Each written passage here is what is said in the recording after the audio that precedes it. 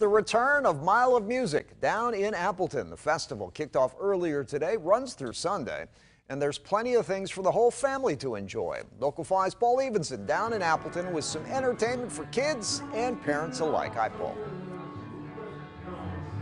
Hey, Chris. Yeah, I'm, I'm trying hard to hear you because the music just kicked off here, but that's why we're here at Lou's Brew on College Avenue because Mile of Music is all about the music. It's this all original music festival, one of a kind. Mile 7 kicking off here today. But this is, uh, we're here for a reason because this is one of many all ages concerts that are taking place throughout the course of the festival. It's really one thing that they're trying to highlight this year.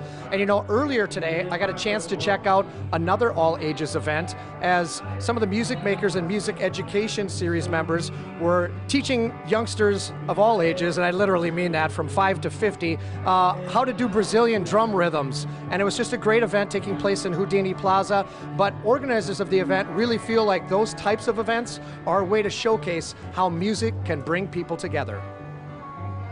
For some over the years, it's been life changing. They've continued their musicianship. They could be five, they could be 50, they could be 80.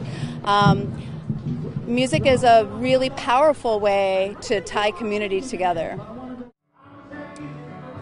So it is chock full of great events, Chris.